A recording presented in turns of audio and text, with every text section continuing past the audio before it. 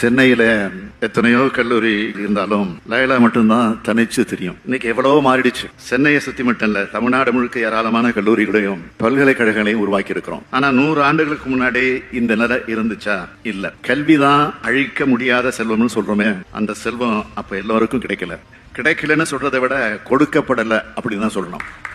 அப்படிப்பட்ட காலகட்டத்தில் சேவை மனப்பான்மையோடு இந்த லைலா கல்லூரி தொடங்கப்பட்டுச்சு. இந்திய நாட்டினுடைய முதல் பத்து சிறந்த கல்லூரிகள ஒன்னா இந்த லைலா கல்லூரி இருக்கு. நாங்க நாடு ஒளிபெற பாடுபடுகிறோம். நீங்க மாணவ சமுதாயம் ஒளிபெற பாடுபடுறீங்க. இவ்வளவு பெரிய காலேஜ் படிக்க கிடைச்ச வாய்ப்பை எல்லோரும் நல்லபடியா பயன்படுத்திக்கணும். கல்வியோட தேவையை அடுத்தடுத்து வர மாணவர்களிடமும் பதிய வைக்கணும். ஏன்னா கல்விக்கான தடைகள் புதிய படிப்புகளில் வர தொடங்கி இருக்கு இப்போ. கல்வியோட முக்கியத்துவத்தை குறைக்கிற மாதிரியான பேச்சுக்கள் மீண்டும் எழத் தொடங்கி இருக்கு அதையெல்லாம் அரசியல் களத்துல நாங்க பாத்துக்கிறோம் ஆனா மாணவர்களான நீங்க அறிவு களத்தை அந்த பயணத்தை நீங்க பாத்துக்கங்க நூற்றாண்டு கண்டு விட்ட லேலா கல்லூரி ஆயிரம் ஆண்டு வாழ்க வாழ்க வாழ்க.